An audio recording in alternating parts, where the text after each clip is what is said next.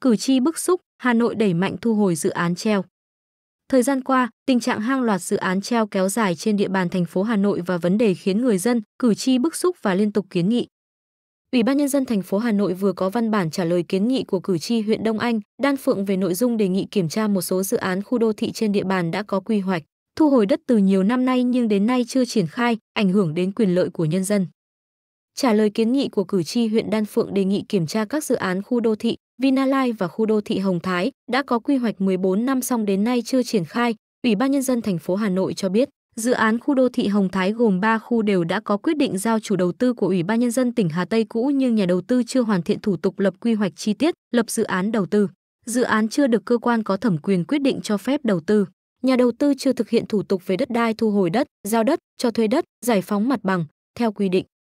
Cũng theo Ủy ban nhân dân thành phố, cuối năm 2022, tổ công tác liên ngành thành phố đã có văn bản báo cáo kết quả giả soát các dự án nêu trên. Trong đó đề xuất Ủy ban nhân dân thành phố giao Sở Kế hoạch và Đầu tư chủ trì thanh tra, kiểm tra dự án, củng cố cơ sở pháp lý để đề xuất phương án xử lý đối với từng trường hợp cụ thể có thể xem xét chấm dứt hiệu lực các văn bản chỉ đạo liên quan đến việc thực hiện dự án. Sau đó, thành phố cũng đã cơ bản thống nhất với nghiên cứu, đánh giá, phân loại của tổ công tác liên ngành và giao tổ công tác tiếp tục nghiên cứu, làm rõ về khung tiêu chí pháp lý để thực hiện các thủ tục liên quan chấm dứt, thu hồi dự án. Trong khi đó, cử tri huyện Quốc Oai có các kiến nghị tương tự về các dự án khu tái định cư Hòa Phú, dự án làng thời đại. Về vấn đề này, Ủy ban nhân dân thành phố Hà Nội cho biết, đối với dự án làng thời đại trên địa bàn huyện Trương Mỹ và huyện Quốc Oai có quyết định giao chủ đầu tư của Ủy ban nhân dân tỉnh Hà Tây nhưng nhà đầu tư chưa hoàn thiện thủ tục lập quy hoạch chi tiết 1 phần 500, lập dự án đầu tư.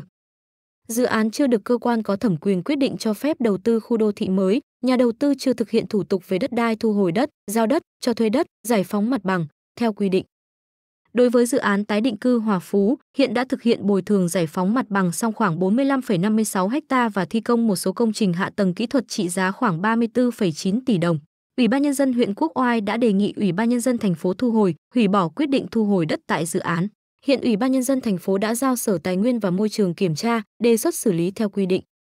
Trả lời kiến nghị của cử tri huyện Đông Anh về dự án nhà ở xã hội cho người thu nhập thấp tại ô đất ký hiệu CT5 tại thôn Hậu Dưỡng, xã Kim Trung đã có thông báo thu hồi đất từ năm 2010 nhưng đến nay không triển khai. Ủy ban nhân dân thành phố Hà Nội cho biết, dự án này đã được Ủy ban nhân dân thành phố chấp thuận đầu tư tại văn bản số 3135 ngày 24 tháng 7 năm 2012, điều chỉnh tại văn bản số 2019 ngày 12 tháng 1 năm 2015.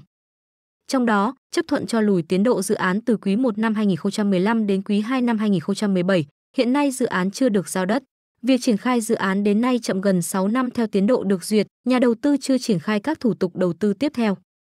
Ủy ban nhân dân thành phố Hà Nội thông tin thời gian tới, Ủy ban nhân dân thành phố sẽ chỉ đạo các sở, kế hoạch và đầu tư, tài nguyên và môi trường, Ủy ban nhân dân huyện Đông Anh giả soát, đôn đốc chủ đầu tư khẩn trương thực hiện dự án. Trường hợp nhà đầu tư không đủ năng lực, tham mưu, báo cáo Ủy ban nhân dân thành phố xem xét thu hồi dự án theo quy định.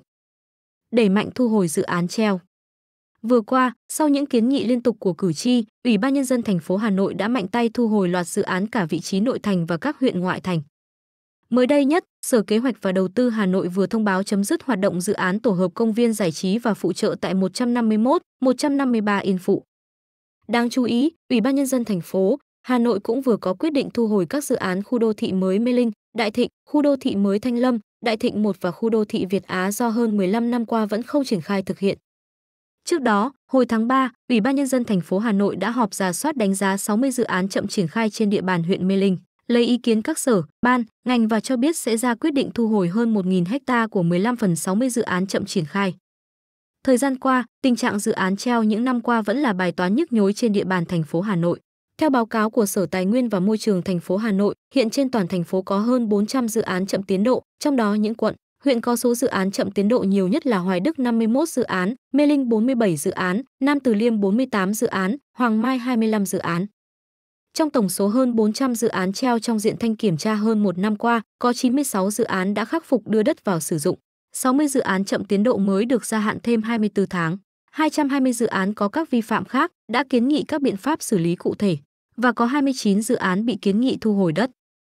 Tuy nhiên, nhiều ý kiến cho rằng hàng trăm dự án treo tới 1 đến 2 thập kỷ nhưng giờ mới chỉ nằm trên danh sách kiến nghị bị thu hồi. Nghĩa là danh sách kiến nghị bị thu hồi cũng bị treo và treo đến bao giờ cũng chưa biết. Chỉ biết công tác thực thi của các sở, ngành hiện quá y ạch, chậm chạp và thiếu kiên quyết. Số dự án treo lớn cũng đồng nghĩa với việc đang có hàng triệu người dân đang bị ảnh hưởng tới đời sống kinh tế, tới chất lượng cuộc sống. Các doanh nghiệp khác có năng lực mất cơ hội kinh doanh, còn nhà nước cũng không thu được các khoản thuế phí, lệ phí, tiền sử dụng đất từ những dự án này.